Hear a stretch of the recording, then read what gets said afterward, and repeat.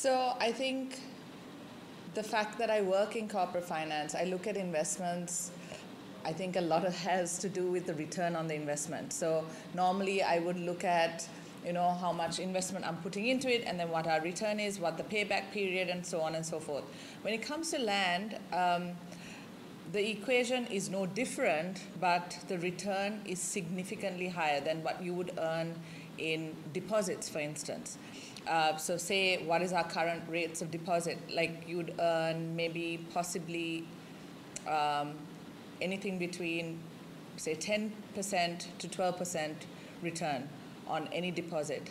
But for a land, that could be anything between 80 to 100% return in like a two year period. So it's kind of like a no brainer.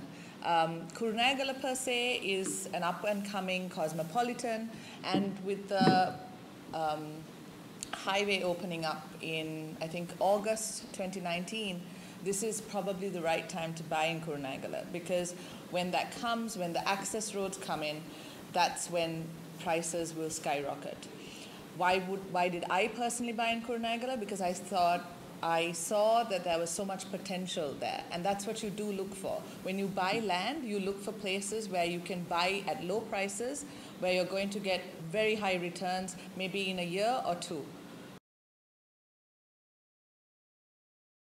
So, firstly, Yatala and Manjari are my friends, and I thought that it would be easier to do business with friends um, especially because I trust them. But more so, I've found that their staff are very professional, and I've had minimal interaction in the sense that it's been really a stress free experience to buy land with them. Um, they've come to the point where sometimes some of the lands I bought from them I haven't even seen. But um, after seeing all the concept designs and the actual plan of the land, I've been really happy with that. So it is a stress free professional outfit, and that's why you should buy from them. So the lands I've purchased, um, they're more investment. I don't think I will ever live in Kurunegala or build in Kurunegala. Um, and in terms of reselling, that is, I mean, that is the end game at the end. So every year, what I've done is I've spoken with the management of CBH lands and I've seen what kind of return I can get. And if it's a return I've been happy with, then I've flipped that land. So essentially sold it and then reconverted that into buying another piece of land with them. Uh, it really depends. So if it's if I wanted like a 100% return on investment, I may have had to wait two years. And that's what I've got with them. So that is the end game at the end. Whether you're male or female, I think rates of return and how much you're going to earn on that investment is the most important. So your, your rate of investment, um, rate, your return on the investment is the most important. Um, it really depends on what you want to invest in. It could be real. I think at the moment, the ones that you could really invest in is real estate because that will always get you more return than most other industries.